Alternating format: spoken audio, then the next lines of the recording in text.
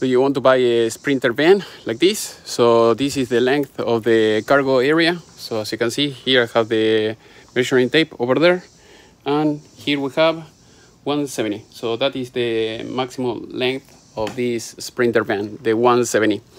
Otherwise you have the other ones, the 170 extended is uh, about two feet longer than this.